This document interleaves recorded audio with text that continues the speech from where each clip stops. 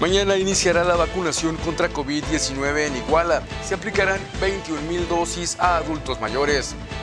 Solicitan partidos al IEPC Guerrero registro de candidatos a diputaciones locales. Asegura candidato del PRI-PRD que ya está en empate técnico con el abanderado de Morena. Ganaré y romperé el patriarcado contra las mujeres, señaló Mario Moreno Arcos. Acusa Salgado Macedonio guerra sucia en su contra por protestas de mujeres. Dice que le están montando actos de provocación y asegura que no va a caer. Salud Municipal en Iguala refuerza revisión a puestos de alimentos por temporada de calor. Verifican que estén en buen estado. Estas son las noticias de hoy lunes 22 de marzo del 2021. Con esto y más yo te espero en esta nueva edición de Diario 21 Televisión. Arrancamos.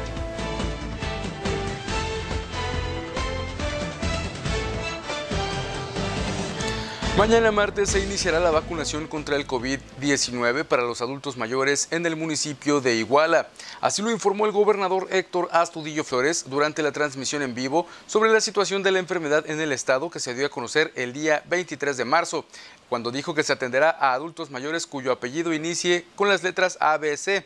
El miércoles 24 para las letras D, E, F, G, H, J y el jueves para el resto hasta la K y hasta la O. Mientras que el viernes 26 se atenderá de las letras P, Q y R, incluyendo la jornada del 27 para las letras S, T y hasta la Z. Para ello habrá tres macropuntos de aplicación ubicados en las canchas de básquetbol de la unidad deportiva, el Instituto Tecnológico de, Iguada, de Iguala y la Escuela Secundaria Técnica número 70, Vicente Guerrero Saldaña. También se informó que se tiene contemplado atender a una población de alrededor de 21 mil adultos mayores de 17 localidades y la cabecera municipal, y se puntualizó que solo se aplicará la vacuna a quienes residan en Iguala, por lo que se pide a la población de municipios aledaños esperar la convocatoria para su lugar de residencia. Se indicó que los beneficiarios deberán de llevar consigo la identificación oficial, CURP, su registro de la página mivacuna.salud.gov.mx y comprobante de domicilio. Ante la pregunta si podrían vacunarse personas que no fueran de Iguala, el delegado de los programas sociales del gobierno federal, Iván Hernández Díaz, señaló que es muy importante que solamente acudan las personas del municipio en virtud de que se manejan distintos tipos de vacuna. Por ejemplo, en Acapulco se está aplicando la Sinovac, mientras que en Iguala se estará usando Pfizer. Es un riesgo tratar de ir a un municipio que no corresponde, así puntualizó. En otros temas, entre el sábado y el domingo, los diferentes partidos políticos registrados ante el Instituto Electoral y de Participación Ciudadana del Estado de Guerrero presentaron las solicitudes de registro de candidaturas a las diputaciones locales de mayoría relativa y representación proporcional con fundamento en lo dispuesto por los artículos 189, fracciones 25 y 24 de la Ley número 483 de Instituciones y Procedimientos Electorales del Estado de Guerrero y 31 de los lineamientos para el registro de las candidaturas para el proceso electoral ordinario de la gubernatura del Estado, diputaciones locales y ayuntamientos 2020-2021, se recibieron las solicitudes de registro de las candidaturas de diputaciones locales de mayoría relativa, presentadas por la coalición y candidatura común, integradas por los partidos Revolucionario Institucional y de la Revolución Democrática, así como de la coalición Juntos Haremos Historia en Guerrero, conformada por el PT y el Partido Verde Ecologista de México. También entregaron sus solicitudes los partidos de Morena, PAN, Movimiento Ciudadano, PES, Redes Sociales Progresistas y Fuerza por México. En los diferentes actos protocolarios de recepción de solicitudes, se invitó a las mujeres aspirantes a las candidaturas de todos los partidos a unirse a la Red Nacional de Candidatas a un cargo de elección popular en el ámbito estatal con el propósito de brindarles acompañamiento y orientación para evitar que sean víctimas de violencia política. En más información, el candidato a gobernador de la Alianza Va por Guerrero, integrada por el PRI y el PRD, Mario Moreno Arcos, aseguró este domingo que ya alcanzó en encuestas de preferencias ciudadanas a su oponente del partido Morena, Félix Salgado Macedonio, a 16 días de haber iniciado su campaña electoral. Ayer dijo, vi unas encuestas y ya prácticamente era un empate técnico. Ya es indudable y por supuesto, esta alianza se diseñó y se construyó. Se trabajó todos los días pensando en eso, en que vamos a ganar. Así lo reveló el gira de proselitismo por la región de la montaña. Moreno Arcos aseguró que la alianza entre el PRI y el PRD se fortalece cada día con la adhesión de cientos de seguidores que la ven con la esperanza y que confían en que esta opción es para garantía del desarrollo del Estado. De paso por esa localidad, en su trayecto a la cabecera municipal de Atlistac, Moreno Arcos visitó la Unión de Transportistas de Tlahuiglotepec. De paso por esta localidad en su trayecto a la cabecera municipal de Atlistac, Moreno Arcos visitó a la Unión de Transportistas de Tlatlauquitepec, con quienes pegó microperforados en medallones de la unidad de pasajeros. Ahí aseguró que con el respaldo de miles de guerrerenses, él ganará los comicios del próximo 6 de junio y como gobernador del estado de Guerrero impulsará la obra de impacto social en la región montaña como en ninguna otra administración. De visita en la cabecera municipal de Tlapa, Moreno Arcos enfatizó su compromiso con las mujeres de Guerrero, a quienes dijo que su gobierno trabajará determinadamente para garantizarles una vida libre de violencia. En encuentro con mujeres del PRI y del PRD, así como de los colectivos feministas, anunció que él sí romperá el patriarcado, que discrimina y violenta la vida de las féminas. Es hora de que nos respetemos todas y todos. Mario Moreno sí le cree a las mujeres, así lo subrayó.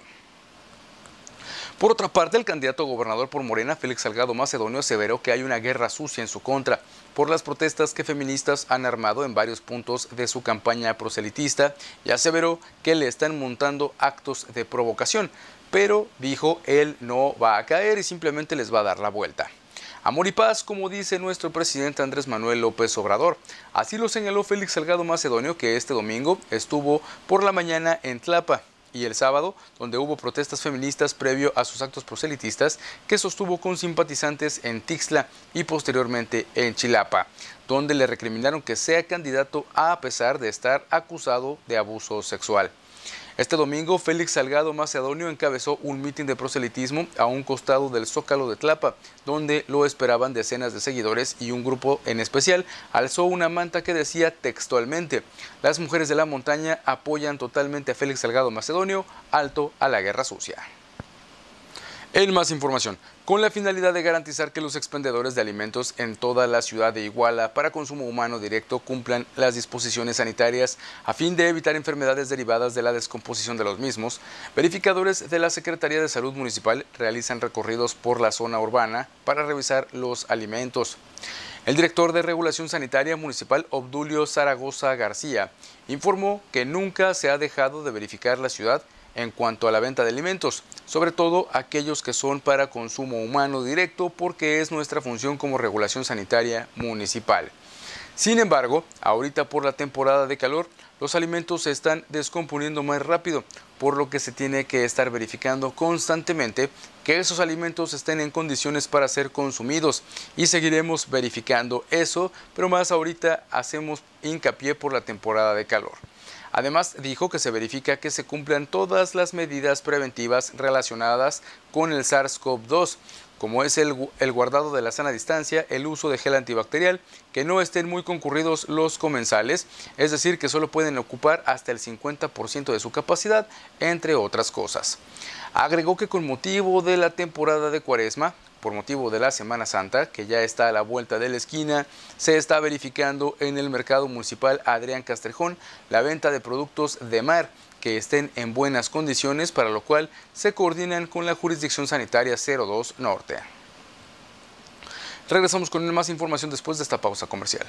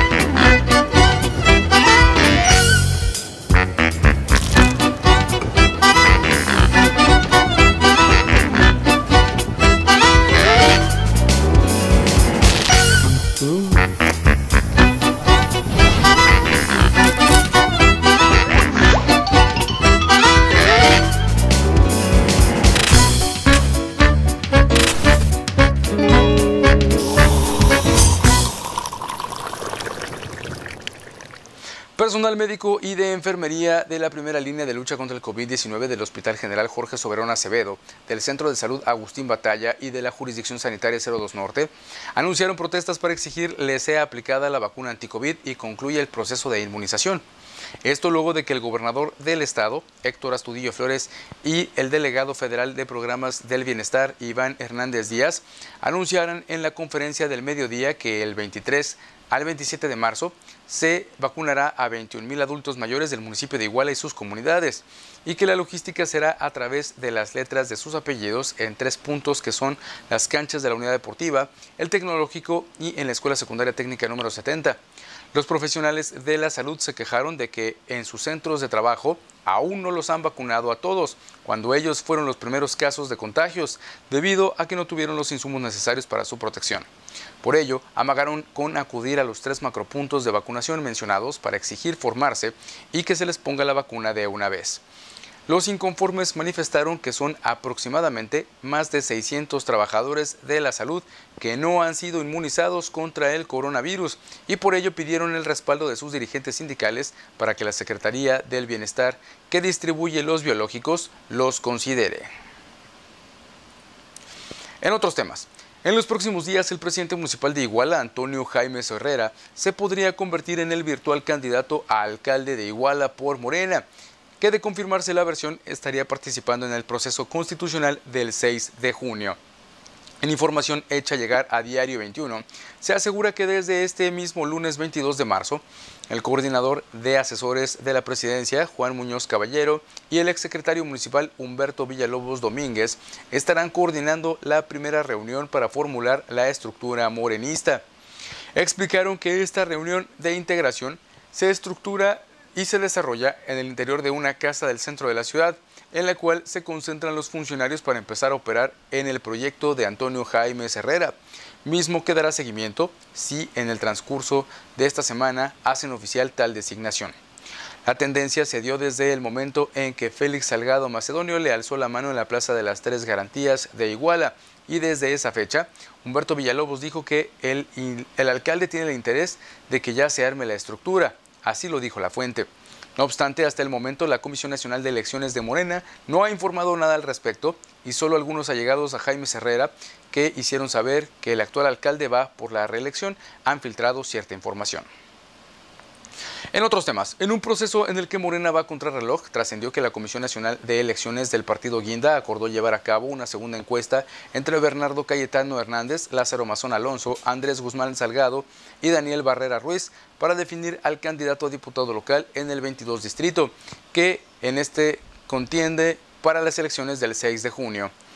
En información hecha llegar a Diario 21 se aseguró también que el alcalde petista de Atenango del Río, Andrés Guevara, puntea en las encuestas de Morena para abanderar la candidatura a la diputación local en el 23 distrito, lo que ha incomodado a algunos morenistas porque las candidaturas deben nominarse primero para la gente de casa, es decir, de Morena, y no que provengan de otros partidos. Así lo mencionaron. En dicha información se asegura también que el actual alcalde de Iguala, Antonio Jaime Herrera, plantea la encuesta para la nominación de candidato a presidente municipal, seguido por Paula Sánchez Jiménez, Manuel Ocampo Mastache, Marina Hernández de la Garza, Israel Alejandro Fernández Jaimes y Dora Luz Castán Blanco.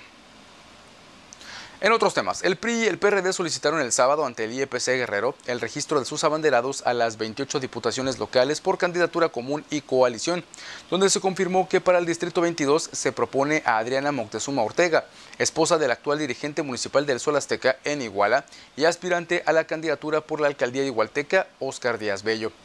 Cabe señalar que este domingo venció el plazo de registro para las y los aspirantes de los diferentes partidos políticos y coaliciones a las 46 diputaciones del Congreso del Estado, de los cuales 28 son por mayoría relativa y 18 por representación proporcional, de acuerdo a la convocatoria del Instituto Electoral y de Participación Ciudadana del Estado de Guerrero. Como ya se mencionó en el Distrito 22 con sede en Iguala, la alianza PRI-PRD registró a Adriana Moctezuma Ortega, mientras que por el Distrito 21 de Tasco de Alarcón se propuso a la exdiputada federal priista Flor Añorbe Ocampo. El Distrito 23, que corresponde a Huitzuco de los Figueroa, lo encabezará el priista Héctor Vicario Castrejón y para el 20 de Teloloapan se registró a la perredista Susana Paola Juárez Gómez. Por otro lado, los aspirantes registrados para las diputaciones por representación proporcional por el PRI son, en el primer lugar, Héctor Apresa Patrón, actual diputado local y dirigente estatal del PRI. En la segunda posición, Alicia Zamora Villalba. Y en la posición 3 se encuentra el ex dirigente estatal del PRI y exalcalde de Iguala, Esteban Albarrán Mendoza. Cabe señalar que en la posición 6 está Julieta Fernández Márquez, esposa del senador priista y ex aspirante a la candidatura a la gubernatura de Guerrero, Manuel Añor Bebaños. Por el PRD, en primer sitio se encuentra el ex aspirante a la candidatura de la gubernatura y ex alcalde de Acapulco, Jesús Evodio Velázquez Aguirre. En segundo lugar va Patricia Doroteo Calderón y en el tercer espacio, Yaneli Hernández Martínez. Regresamos con más información después de esta nueva pausa comercial.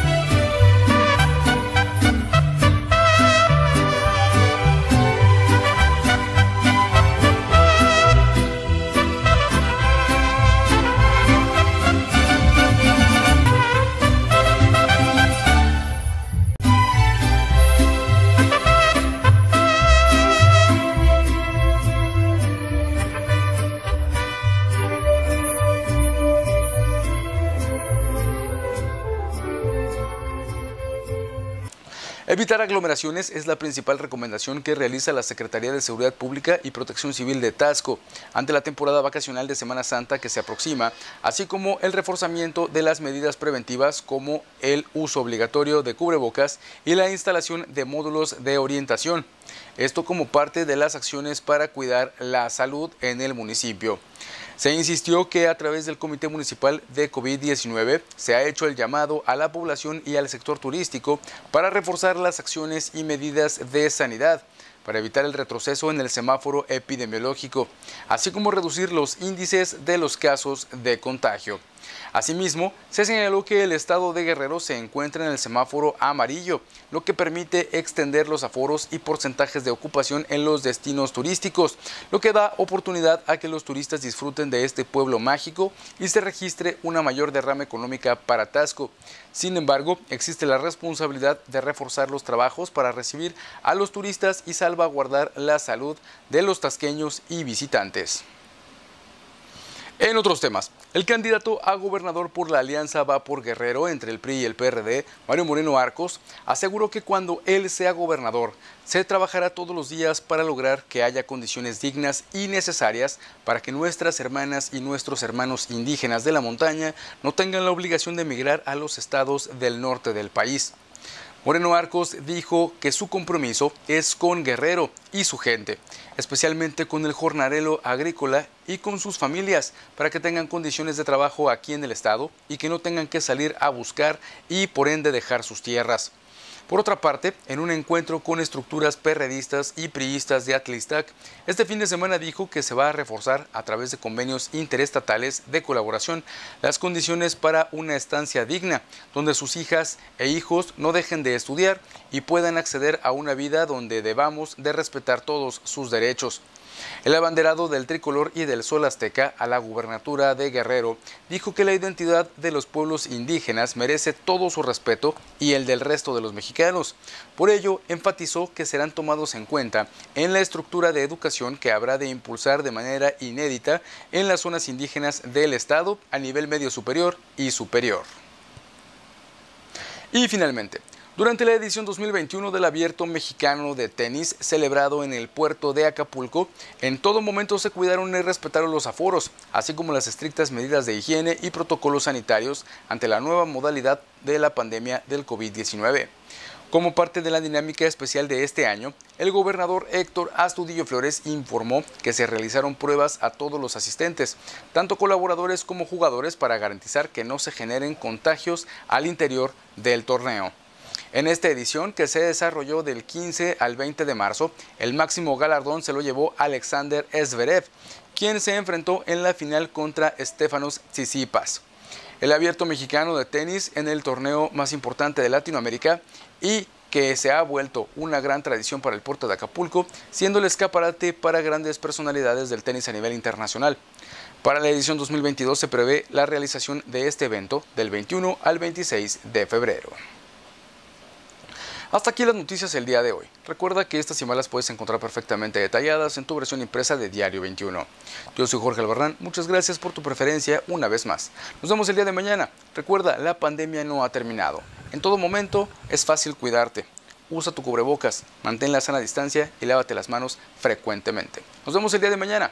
Hasta la próxima.